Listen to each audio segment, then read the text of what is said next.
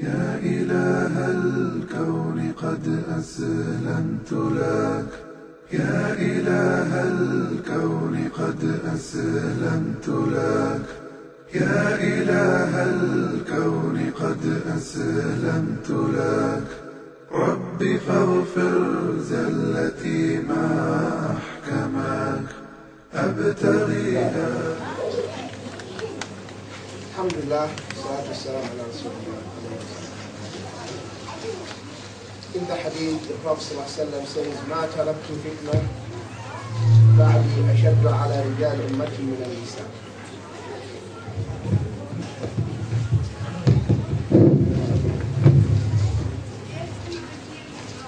ﷺ, he said, the biggest fitna for the men are women. And the first fitna happened among Bani Israel was due because of the women. When the women start to mix with men, that was the.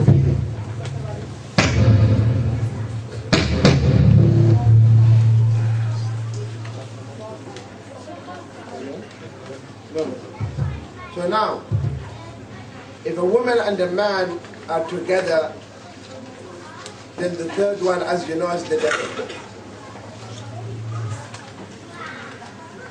So the Muslim and the Muslimat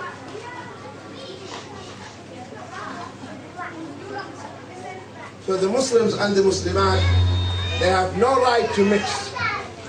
And they have no right to mingle. Because that will open the gate for the shaitan. And read the sunnah of the Prophet ﷺ and see the precautionary measures the Prophet ﷺ he took. He ﷺ said,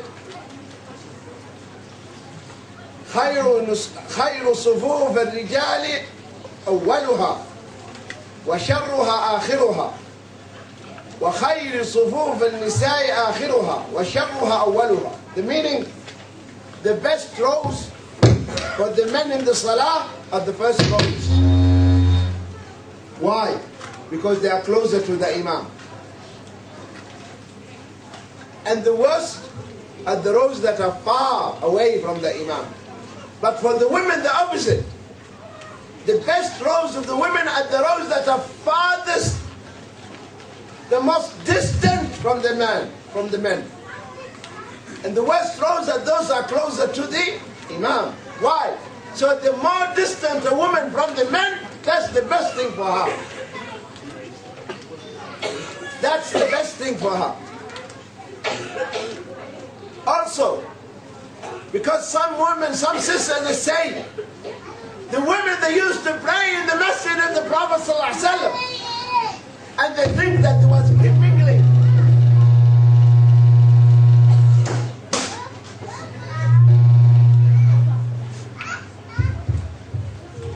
So they think that there is free mingling between the Sahaba and the Sahabiyat. That's what they think. Because they are in the masjid.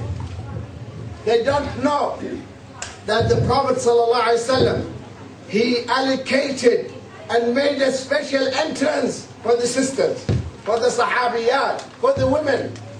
That's number one. Number two, he told the women never to raise from ruku' or sujood before the men. Why? Because the Sahaba's clothes were very short. She might see the aura of the Sahabi. Third thing, the Prophet ﷺ used to say after the salam to the Sahaba, remain seated. Don't leave until the woman leave and everyone reaches her house. Then and only then the Sahaba will leave the masjid. So where is the mingling? Where is the free mixing? There's no free mixing in Islam. No mingling. Because that is the way the shaitan uses to cause fitna. If a man and a woman together, the shaitan is the third. The sisters involved in the da'wah, they should run their programs by themselves. They should not sit together with brothers. We sit for the sake of Allah. That is for the sake of the shaitan. A sister smile at your brother. Don't you know what you are doing to his heart? Even his beard touches his navel. Okay? You are causing troubles for him. And I warn all the dies and the mashayikh and the callers never entertain the issue of talking to the women. Because you are the sheikh or you are the imam you will end up falling into the mire of sinfulness. Shaitan is a crafty guy. And when women call you at home hand the phone to your wife. Tell her, take the questions and they'll give you the answers and you give them back. And you see the rate of calling dropping drastically. yes. They will not call you again because they are not looking for ilm. They are just looking, Sheikh, you are really wonderful. you really know how to convince you. Your speech is so beautiful. That's what they're looking for. They're not looking for ilm. So, don't open this door. If we really fear Allah subhanahu wa ta'ala, no mingling. The sisters are doing da'wah. If they need help, a sister might ask her brother to convey the message to the brothers. There are many ways where we can cooperate and do the da'wah for the sake of Allah by, while still maintaining the purity of our hearts. So we should not fall into, into the trap of Iblis and justify that by this is for the sake of Allah or da'wah, giving these lame excuses. I hope the answer is clear. Is it clear? Yes. Okay. Rahim. The next question is that is music haram and what is the evidence from the Quran and Sunnah? And if I give the evidence, you will quit?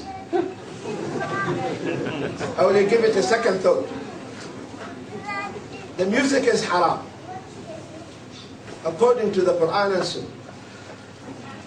According to the Quran, Allah subhanahu wa ta'ala said, وَمِنَ النَّاسِ مَنْ يَشْتَرِي لَهْوَ الْحَدِيثِ لِيضِلَّ عَنْ سَبِيلِ And from among mankind, there are people who entertain and buy and traffic with the vain talk, لهو الحديث. ليضل عن سبيل الله so that you to, to go astray from the path of Allah.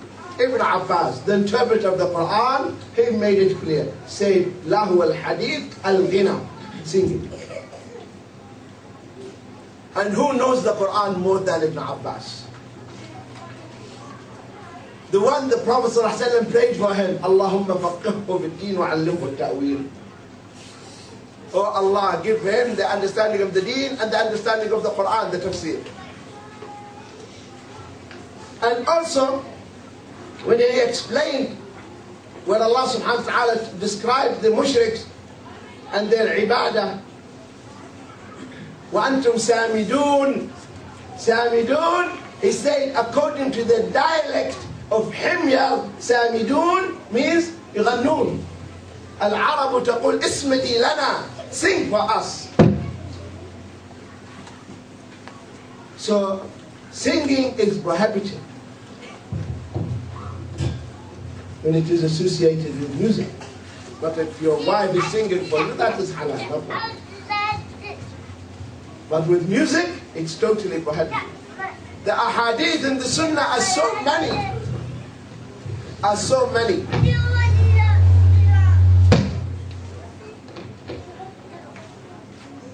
One of the hadith is in the Bukhari, which is mu'allaq. And this mu'allaq of Imam Bukhari, what is mu'allaq? It's the mu'allaq when Imam Bukhari omits his sheikh. But these mu'allaqat in Bukhari, most of them, Imam Ibn Hajar al-Asqalani, he found the missing narrators. And he compiled the book, At-Taghliq, Taghliq al-Ta'liq, filling the gaps in the missing isnads. And the hadith is authentic. When the Prophet ﷺ said, لَيَأْتِيَنَّ أَقْوَامٌ مِّنْ أُمَّتِي People from my ummah will come. يستحلون they make it halal when it is haram يستحلون الحرى والحرير الحرى means zina they make the zina halal and it's happening now in many Muslim countries prostitution is legal the prostitute will have a permit to practice prostitution to practice the zina Muslim countries there's the al-hira wal-harir, the silk, which is haram for the men, so they wear it. Wal-khamr, and they will also make the khamr halal. And they change the name of the khamr. In the Arab world, they call the khamr mashroob ruhi, spiritual drink. not the mother of evil, spiritual drink. well khamr they make it halal. Well, ma'az, the musical instruments they will make it halal. The Prophet ﷺ says in the hadith, whoever listens to the music will have the molten brass poured into his ears. Molten brass they will put it into your ears because you listen to the music what does the music do to your heart? The truth. When you listen to it, it's that. right? True or not? What does it do? It goes under your skin. The shaitan. It triggers you. But now we have music, Islamic music. You know this? Yes. Sheikh will come on the stage. Ladies and gentlemen, brothers, so and so and so. The famous singer, Muslim singer. The audience, Muslim audience. Right? This is now the 21st century Islam. And then this brother will start to sing for the sake of Allah. Huh? And the sisters start to sway. MashaAllah. This is halal, right? And the brother is holding the guitar on the stage. If we ask this brother, do you want to die in that state? Do you want to meet Allah holding the guitar? Will he say yes? That is my wish. Tell me. He will say, A'udhu Billah. Why, akhi, it is halal, right? You don't want to die holding the guitar? So you know it is haram. And subhanallah al-azim, in the Arab world, one of the famous singers, Talal Maddah, is the old generation, the generation of Abu Bakr Salim bil Faqih. The Arabs, they know that. He died in Abha, on the stage, holding this, the lute. And he will resurrect holding it. You want to be resurrected holding the guitar on the stage? Or you want to die while saying Ashhadu an la ilaha illallah, Which one you want? So music is haram.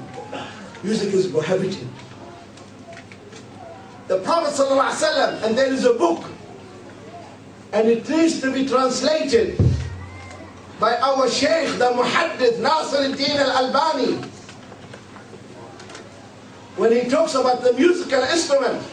And in that book, he refuted Sheikh al-Qaradawi and he refuted Ibn Hazm. Those are saying music is halal. And you find the people say, Ibn Hazm said this.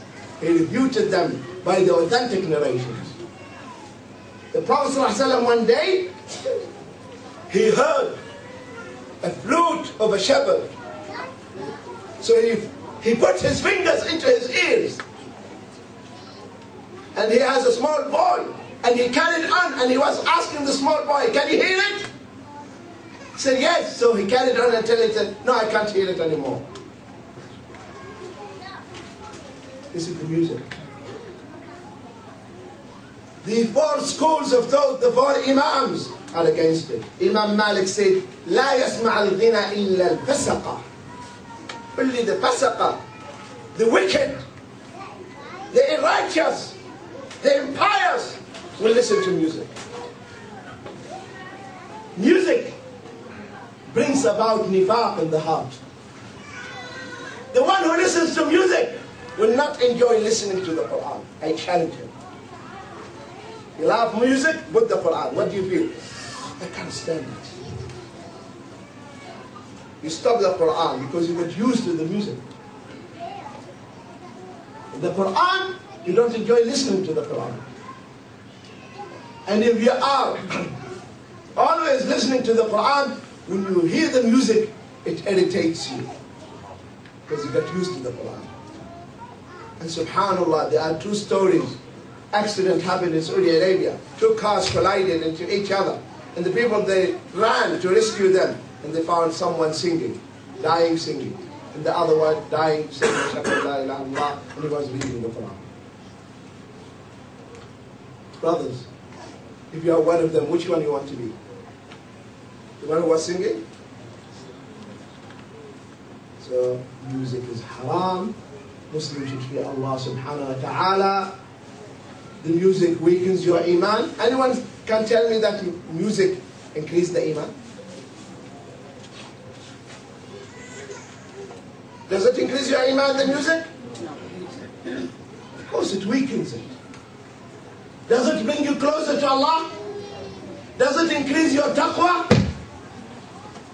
Does it? It takes you away from Allah. It takes you away from the path of Allah Azza wa Jalla. So fear Allah subhanahu wa ta'ala and don't listen to those people who are saying music is halal. Because they just want to mislead you. They want you to join the club of Iblis and his followers. That's what they are after. So fear Allah subhanahu wa ta'ala and don't listen to the music. Read and listen to the Quran. And with the moment you start loving the Quran, you will never listen to anything else. In the uh, Paltalk, I give a talk, talk every week, every Saturday week, yes, Saturday, Sunday. And before we, I start giving the talks, we put the Quran. So I remember one non-Muslim came and he was listening to the Quran and he was writing, this is the most melodious, soothing song I ever heard in my life. And we told him this is not song, this is the Quran. Though he didn't know what is it, but it cools him down. It soothes his heart because it's the word of Allah. Does the music do that?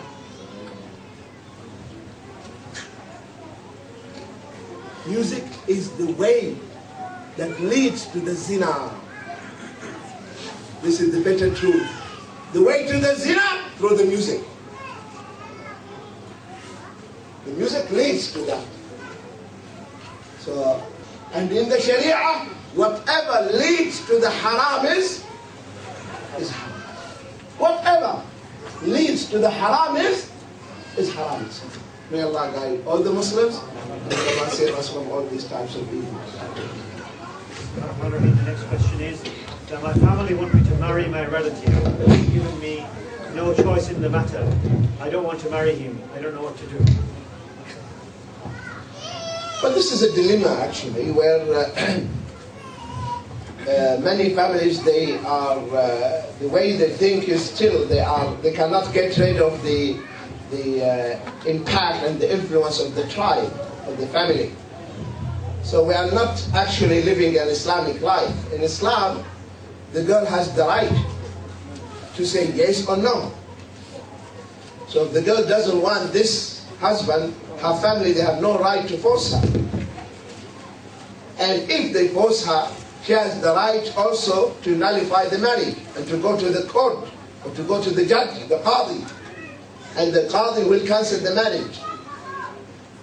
So parents who fear Allah subhanahu wa ta'ala should not force their daughters to marry someone whom they don't want. And this happened at the time of the Prophet ﷺ, and the Prophet ﷺ gave the girl the choice. And finally the girl said, no, I accept But I want the parents to know that they have no right to force their own daughters against and to get them married against their own will. But I want to add something here. Not any marriage comes through the parents should be rejected. Because now, many girls who grew up in the West, they, this arranged marriage, where the parents arrange the marriage, they are adamant against it. So that they want to find their own partner by themselves. And that's not in Islam. In Islam, it's not the girl who go and chase the man and run after him. In Islam, it is the man who comes and he begs the family and he say, Uncle, it is an honor for me uh, to ask for the hand of your daughter. this, is, this, is, this is Islam. That's why the Prophet ﷺ, he said, البكر تستأذن وإذنها صماتها that the virgin we seek her permission and her consent her approval is her silence why because of the haya haya which is now a kiss goodbye to the haya there's no more haya the girls they don't have the haya the shyness is not there anymore except few so the Prophet ﷺ said that the father would come to his daughter and say, My daughter, there is a man who wants you. And her face would blush out of shyness. And she'll put her head down. She'll keep quiet. So that's the sign for you that he doesn't mind. But the one who was married before, he has to talk. But today, no, the girl is making a war at home. Dad, He's the one. I love him, Dad. If you get me married, I will run and get, him, get myself married. SubhanAllah. What happened to our daughters? Where is our tarbiyah? What happened to them? No tarbiyah. No manners. Subhanallah. Don't you know that the Prophet ﷺ said, لا نكاح إلا بولي no marriage without a guardian لا يحل لامرأة أن تنكح نفسها إلا بأمر وليها أيما امرأة نكحت بأذن بغير إذن وليها فنكاحها باطل نكاحها باطل نكاحها باطل Any woman gets herself married without the consent of her guardian, her marriage is void, void, void, void. Batil, batil, batil. Don't you know that the Prophet ﷺ said, لا تزوج نفسها إلا زانية? Only the adulteress will get herself married. The adulteress, a zania. This is haram. Totally haram.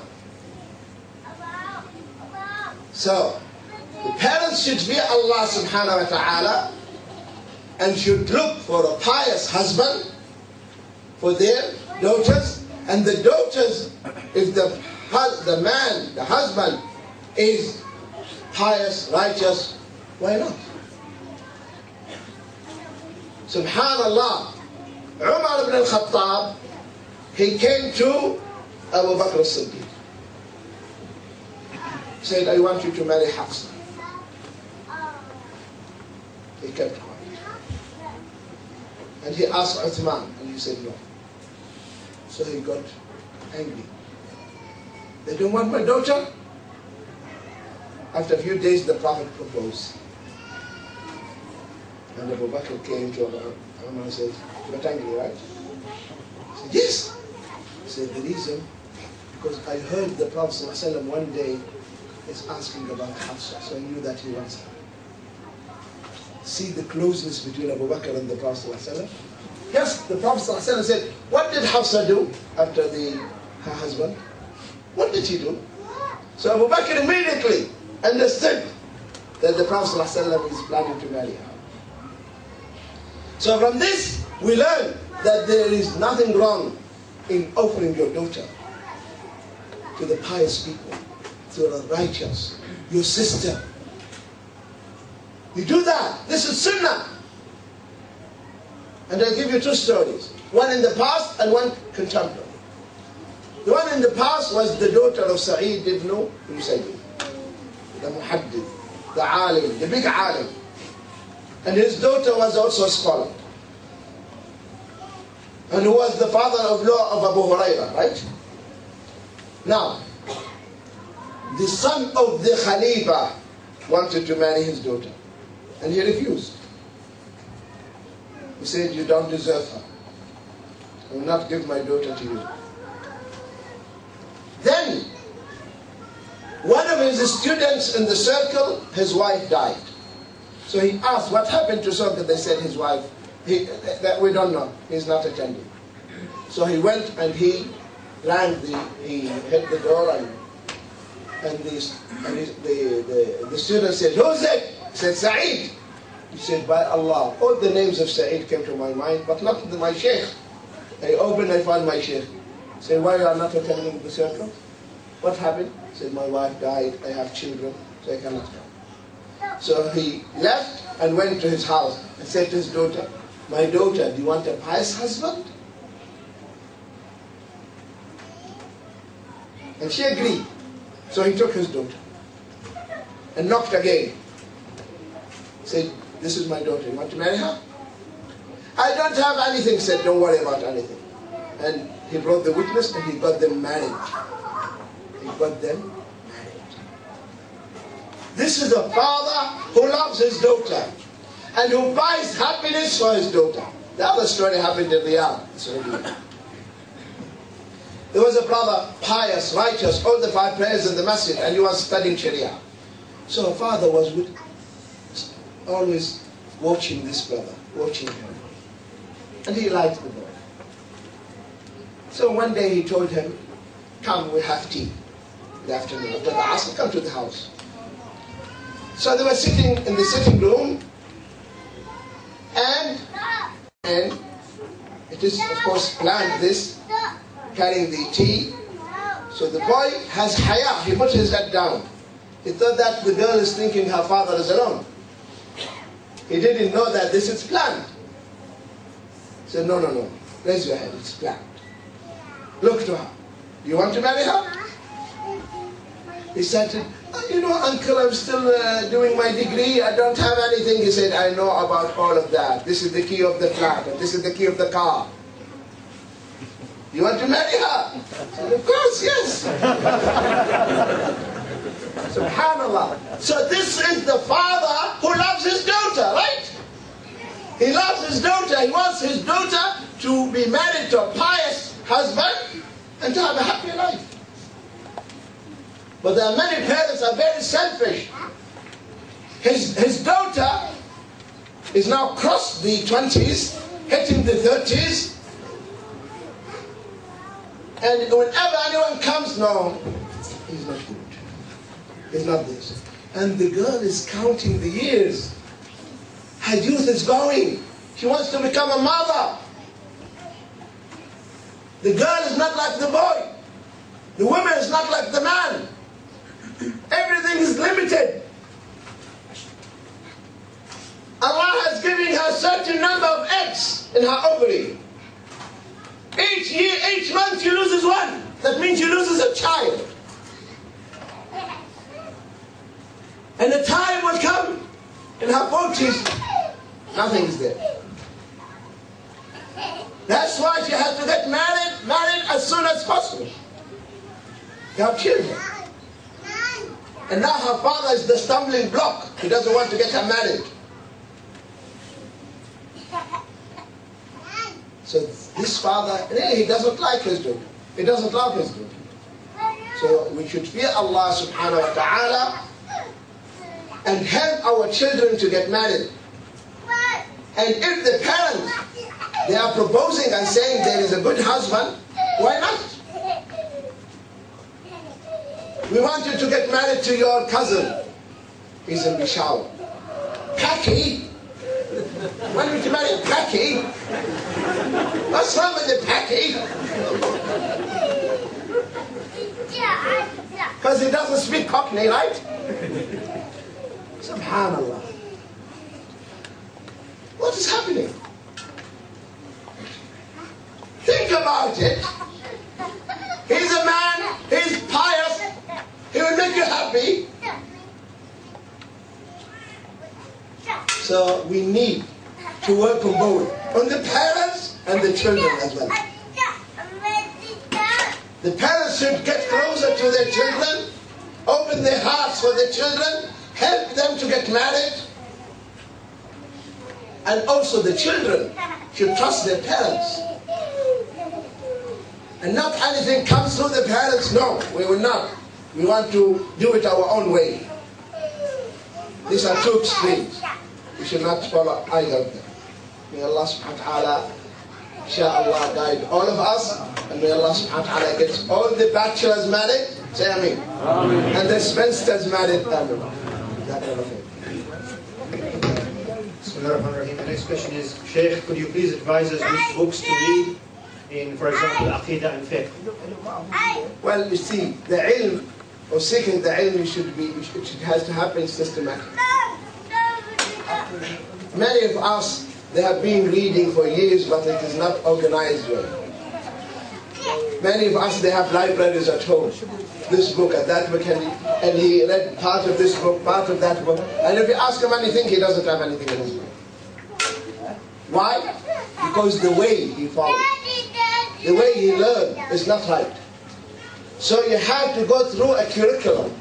You have to go systematic. You start with the fundamentals, the basic, and that's how you build up. And when you finish this book, make sure you understood it. When you are reading a book, you should have also notebook next to you and a pen, and you summarize, and you ask yourself questions. And when you finish the chapter, close the chapter and ask yourself, what did I benefit from this chapter? That's how you will gain. That's how you learn.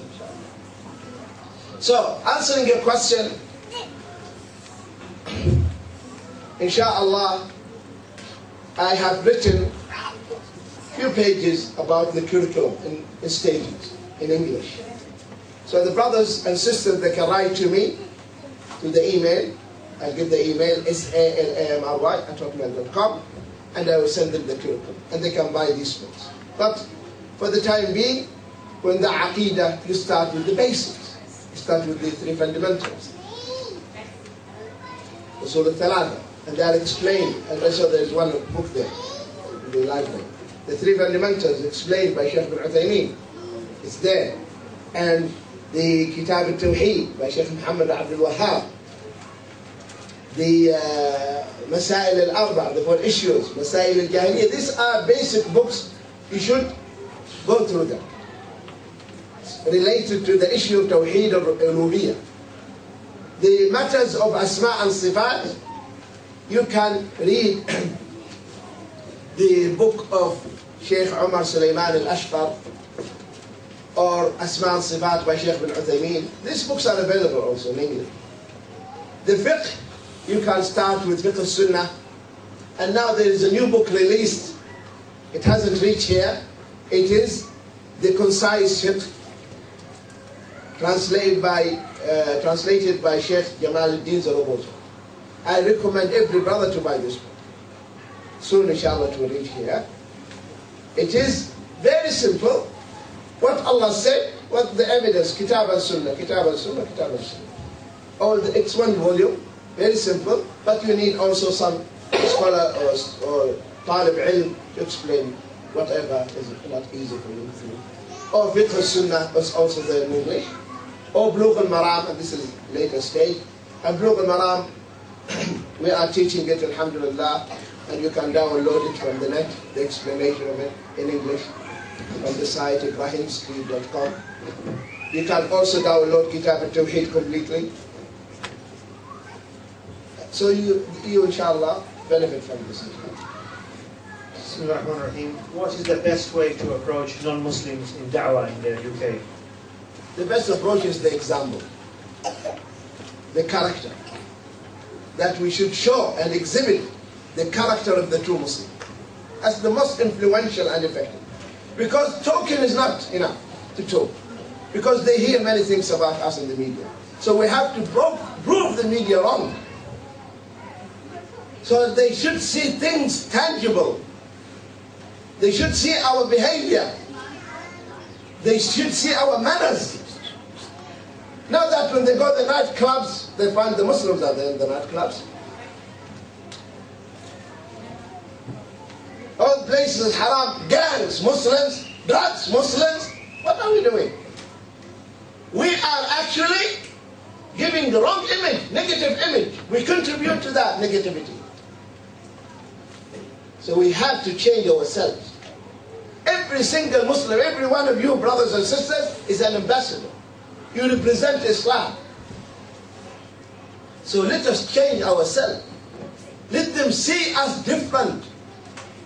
Let us give up them their rights as neighbors door. They, are, they have rights over us. The Prophet ﷺ used to tell his wives, when they make a soup, please add more water to it so we can give it to our neighbors. Imam Bukhari reported in his book Al-Adab al-Mufrad that Ibn Umar, he slaughtered a sheep and then he asked his, his family, did you give our neighbor the Jew part of it? Part of the meat? The Prophet ﷺ, when that Jew, he missed him, he didn't see him, he asked, what happened to that him? They said, he is sick. He went and he visited him. And he found him dying. And he asked him to accept the Shahada. And the young Jew looked at his father, seeking permission. And the father said, obey the father of Al-Qasim. Say it. And he said the Shahada and died. And the Prophet ﷺ came out rejoicing, screaming, Alhamdulillah, الذي أنقذه من النار. Alhamdulillah, الذي أنقذه من النار. Alhamdulillah, الذي أنقذه من النار. All praise is due to Allah who saved him from the fire. See the character of the Prophet ﷺ in Khaybar. When the Jewish, the Jewish lady, she said, what, what is the most part of the, of the sheep or the goat Muhammad uh, loves most? They told her the thigh. Sure, she slaughtered the sheep and she took the thigh and stuffed it with poison. And she brought the food to the Prophet. Said, this is gift for you. Meal from us. And the Prophet ﷺ, he ate from it.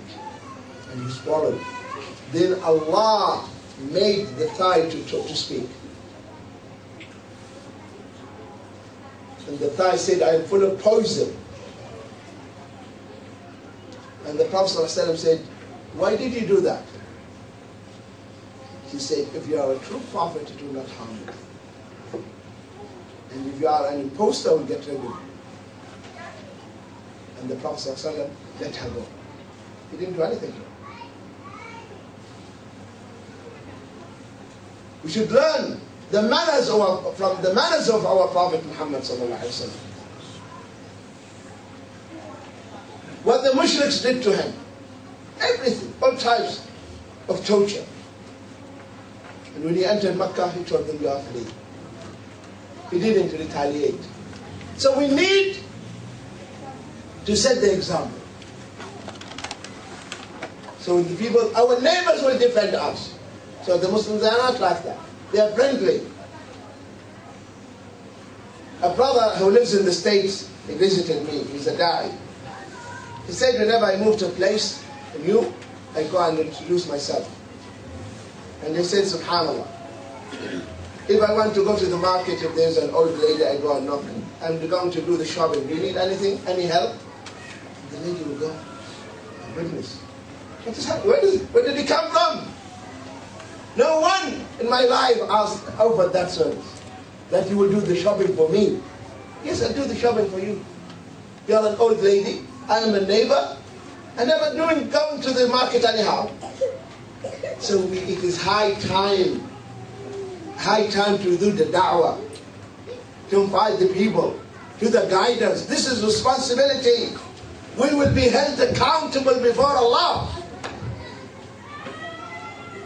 My neighbors, They didn't know anything about Islam, and I never spoke to them. On the day of resurrection, they say, Oh, Allah, He didn't tell us about it.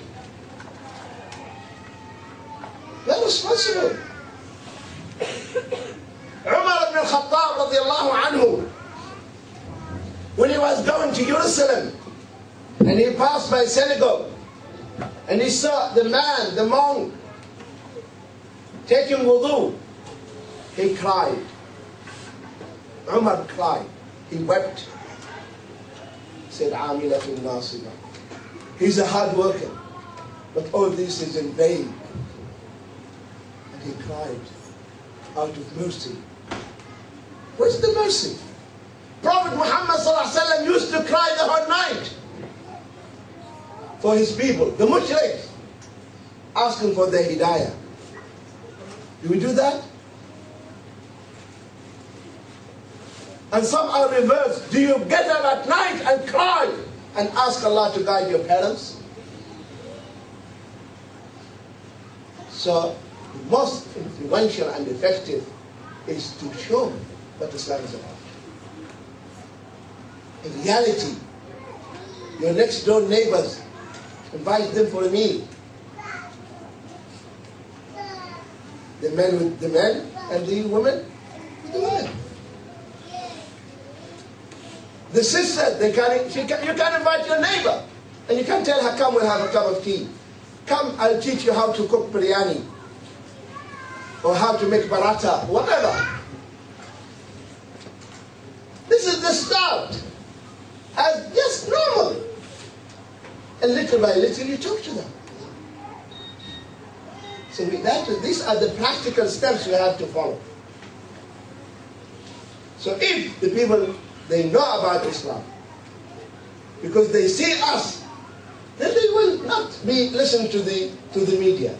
Say, what the, what the media is saying is rubbish, because they are next door to us. Yes. Next question. We find that in this day and age, we find that many Muslims are compromising their religion to please the non-Muslims. How do we find the balance and where do we draw the line? Alhamdulillah. First of all, we have to abide by the law of Allah and we should not compromise. We Should not compromise. The deen, what we have is the true deen. Islam is the true deen. There is no deen but the Islam. Inna deena inda Allah Islam. The deen that Allah will accept is only Islam. ومن يبتغي غير الإسلام دينا فلن يقبل منه وهو في الآخرة من الخاسرين. Whoever adopts any other deen, any other way, any other method, will not be accepted from him. And you will end up in the blazing fire of the other. So Alhamdulillah, we know that we are upon the truth. And we invite the people to this truth with wisdom. But we are not, we are not ready to compromise. We are not ready to give up anything. Because that's what Allah said. وَدُّوا لَوْ تُدْهِنُوا فَيُدْهِنُونَ They wish that you compromise so they can compromise. The moment you compromise, you're, you're, you're giving up the deen. If you give up the deen, you will end up with them.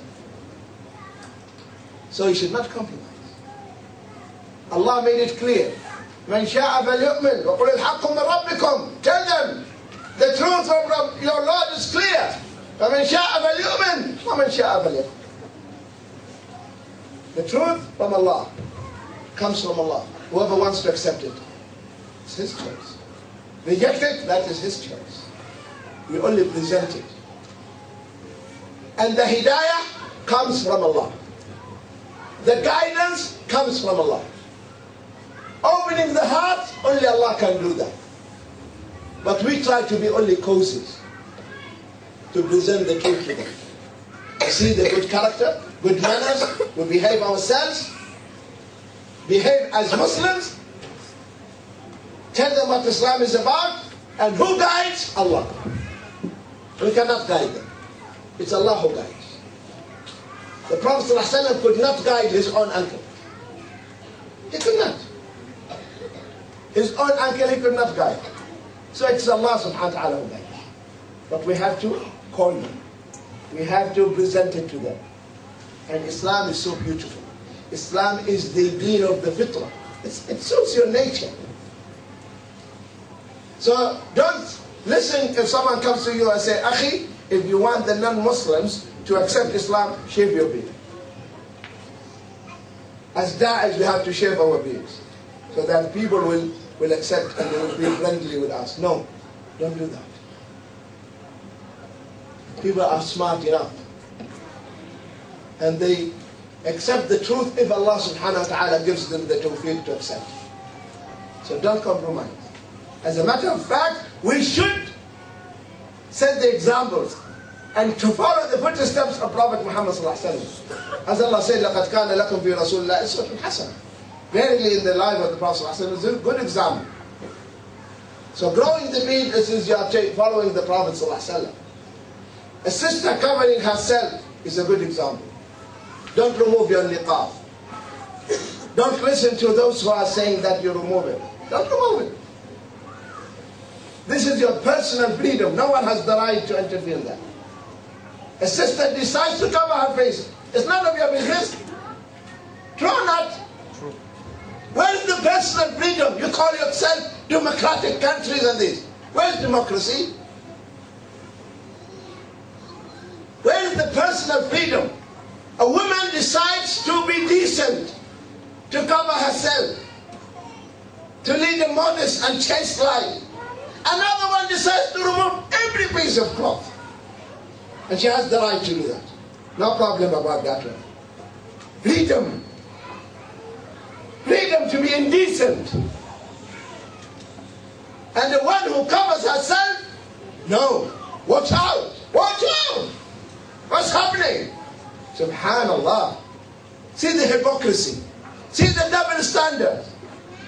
What that piece of cloth has to do, it threatens your national security. Piece of cloth? My goodness. Piece of cloth. Threatening you? Shaking you? Think about it. So you have, as Muslims, you have to stick to the deen. If you remove the niqab today, what is next? The hijab. It is coming. Say, no, you have no right. This is our deen. And the Muslim scholars, alhamdulillah, agreed that covering the, the face is the best thing. The only thing they differ upon is it fard or sunnah. That's it, nothing else. Is it fard or is it sunnah? No Muslim scholar will say, well, the sister wearing it, remove it. They all say it is recommended. Those who are saying it is not sunnah. For instance, our Sheikh Nasiruddin Albani. He's holding the opinion that niqab is sunnah. But his wife and his daughters wearing niqab. Because no doubt, the beauty of the woman is her face, true or not? What attracts you? Her face. That, that's where you look. You look to the face. So, so if a sister covers herself, don't remove it. That is your right. If a brother is growing his beard, you have no right to come and say, Akhi, I'll give you nasiha, no? piece of advice, please. Tell him, why? Because back home, I don't know if you have this here. Back home, the moment a brother starts practicing the deen, and he starts growing his beard, his friends will come, what happened to you? Are you alright? Are you fine? Yes, I am. What happened? I can see this. What is it? You don't know it? It's called lihya. You know it? Where you are growing it. Don't go for lengthy conversation. Sunnah. Come on, it's only sunnah. Tell him to shut him up. I tell the secret. My wife loves it too much. This, she's crazy about it. So that's her choice. So leave me alone. My wife, she wants me to grow the beard. And she loves it. So why you want to interfere? You're not my wife. Leave me. That's it. Shut up. You have no right. Don't go tell him sunnah and further argument. No, no, no. Second thing, it is on my cheek, not on yours. I'm the one who's holding it. So what's the problem? Okay? Subhanallah. So, don't compromise. Stick to the sunnah. Hold the sunnah. Treat the sunnah like fard. Treat it like fard. Because that's how you can protect your iman. That's how you can maintain your iman. Because the moment you start to treat the sunnahs lightly, then you will live the fard. You follow my, my point? If, for instance, you treat the sunnah like fard, you will never miss the fard. But if you treat the sunnahs lightly, then tomorrow you will treat the fards lightly. A person who doesn't miss the all his sunnahs, and when the muaddin says Allahu Akbar, is in the first row, he will hardly miss the salah. But the brother who comes to the masjid after the adhan, he will miss the first takbirah. And then he will miss the second, the first rak'ah, then the second rak'ah. That's how the shaitan plays with us. So let us be very strict with our nafs and everything in the deen we hold it and take it and abide by the teaching of the Quran and Sunnah. My husband divorced me three times. I am now on my iddah. Do I have to stay in my husband's house or can I leave? And do, if I stay, do I have to cover in front of him? Now, her husband divorced her three times. If it is three times according to the to the Sharia, which means that he divorced her once and then he took her back, he divorced her second time and he took her back. Now this is the third time, he has to leave immediately. But if he said just talak, talak, talak three times, that is counted as. Giving talak three times is only one. And that is according to the sunnah of the Prophet. He counted that as one.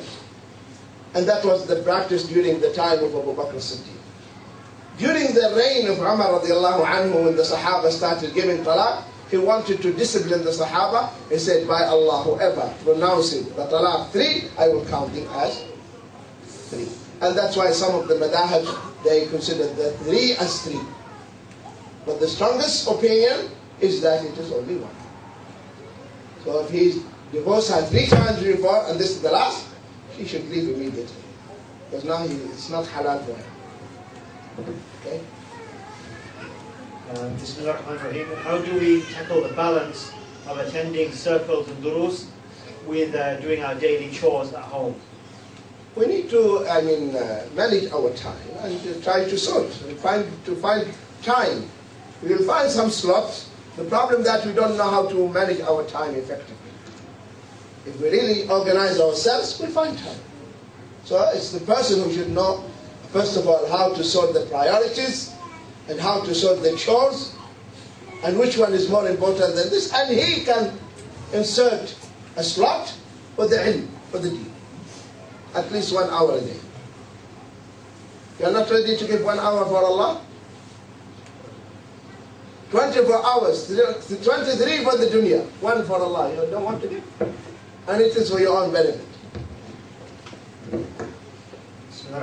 How can you tell whether a calamity is due to sins or a test from Allah? You see, the Muslim to a Muslim is always in a win-win case. Always. Whatever happens to him, he is a winner.